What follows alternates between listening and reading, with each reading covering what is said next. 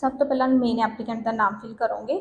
ਉਸ ਦੇ ਨੀਚੇ ਆਪਾਂ ਨੂੰ ਮੈਟਰ ਸਟੇਟਸ ਦੀ ਆਪਸ਼ਨ ਦਿਖਾਈ ਦੇਗੀ, ਜਿਸ ਦੇ ਵਿੱਚ ਤੁਸੀਂ ਮੈਰਿਜ ਹੋ ਸਿੰਗਲ ਹੋ, ਉਹ ਫਿਲ ਕਰੋਗੇ। ਨੈਕਸਟ ਡੇਟ ਆਫ ਬਰਥ ਉਸ ਦੇ ਨੀਚੇ ਆਪਾਂ ਨੂੰ ਬਰਥ ਕੰਟਰੀ ਦਿਖੇਗੀ।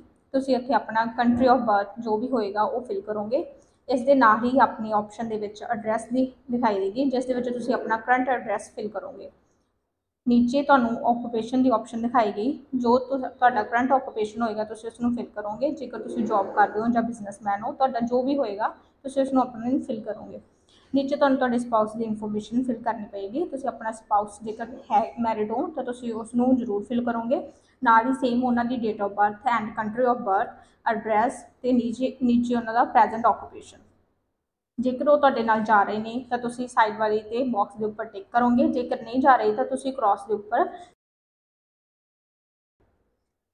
ਸਪਾਊਸ ਤੋਂ ਬਾਅਦ ਨੀਚੇ ਤੁਹਾਨੂੰ ਮਦਰ ਐਂਡ ਫਾਦਰ ਦੀ ਇਨਫੋਰਮੇਸ਼ਨ ਫਿਲ ਕਰਨ ਲਈ ਆਪਸ਼ਨਸ ਦਿਖਾਈ ਦੇਣਗੀਆਂ। ਸੇਮ ਜਿਸ ਤਰ੍ਹਾਂ ਤੁਸੀਂ ਆਪਣੀਆਂ ਦੇ ਸਪਾਊਸ ਦੀਆਂ ਫਿਲ ਕੀਤੀਆਂ, ਉਹਨਾਂ ਦਾ name marital status country of birth and ਤੁਹਾਡਾ ਜਿਹੜਾ ਡੇਟ ਆਫ ਬਰਥ ਹੈ ਆਕੂਪੇਸ਼ਨ ਐਂਡ ਐਡਰੈਸ ਤੁਸੀਂ ਸੇਮ ਉਸੇ ਤਰ੍ਹਾਂ ਆਪਸ਼ਨਸ ਫਿਲ ਕਰੋਗੇ। ਨਾਲ ਹੀ ਤੁਸੀਂ ਆਪਣੇ ਇਹਨਾਂ ਨੂੰ ਜੇਕਰ ਤੁਹਾਡੇ ਨਾਲ ਜਾ ਰਹੇ ਨੇ ਕੰਪਨੀ ਕਰ ਰਹੇ ਨੇ, ਤਾਂ ਤੁਸੀਂ ਯੈਸ ਦੇ ਉੱਪਰ ਕਲਿੱਕ ਕਰੋਗੇ। ਜੇਕਰ ਨਹੀਂ ਜਾ ਰਹੇ, ਤਾਂ ਤੁਹਾਡੇ ਨਾਲ ਤੁਸੀਂ ਨੋ ਦੇ ਉੱਪਰ ਕਲਿੱਕ ਕਰੋਗੇ। ਜਦੋਂ ਆਪਾਂ ਨੀਚੇ ਜਾਂਦੇ ਹੈਗੇ ਆ ਤਾਂ ਆਪਾਂ ਨੂੰ ਅੱਗੇ ਆਪਾਂ ਨੂੰ ਸੈਕੰਡ ਸੈਕਸ਼ਨ ਬੀ ਦੇ ਵਿੱਚ ਚਿਲਡਰਨ ਦੀ ਇਨਫੋਰਮੇਸ਼ਨ ਦਿਖਾਈ ਦੇ ਰਹੀ ਆ।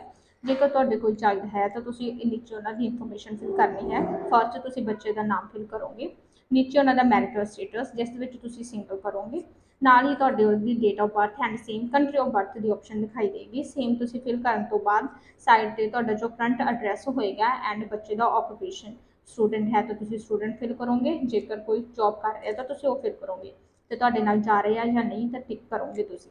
ਉਸ ਤੋਂ ਅੱਗੇ ਜਾਂਦੇ ਆ ਨੈਕਸਟ ਪਾਰਟ ਦੇ ਵਿੱਚ ਤੁਹਾਨੂੰ ਬ੍ਰਦਰ ਐਂਡ ਸਿਸਟਰ ਦੀ ਇਨਫੋਰਮੇਸ਼ਨ ਦਿਖਾਈ ਦੇਗੀ। ਜਿਸ ਤਰ੍ਹਾਂ ਆਪਾਂ ਪ੍ਰੀਵੀਅਸ ਫਿਲ ਕੀਤੀਆਂ ਨੇ, ਉਸੇ ਤਰੀਕੇ ਦੇ ਨਾਲ ਆਪਾਂ ਬ੍ਰਦਰ ਐਂਡ ਸਿਸਟਰ ਦੀ ਇਨਫੋਰਮੇਸ਼ਨ ਵੀ ਸੇਮ ਫਿਲ ਕਰਾਂਗੇ। ਇਸ ਤਰ੍ਹਾਂ ਅੱਜ ਆਪਣਾ ਫੈਮਿਲੀ ਫਾਰਮ ਪੂਰੀ ਤਰ੍ਹਾਂ ਕੰਪਲੀਟ ਹੋ ਚੁੱਕਿਆ ਹੈਗਾ। ਜੇਕਰ ਤੁਹਾਨੂੰ ਕਿਸੇ ਤਰੀਕੇ ਦਾ ਕੋਈ ਡਾਊਟ ਹੈ, ਤਾਂ ਤੁਸੀਂ ਸਾਨੂੰ ਕਮੈਂਟ ਕਰ ਸਕਦੇ ਹੋ।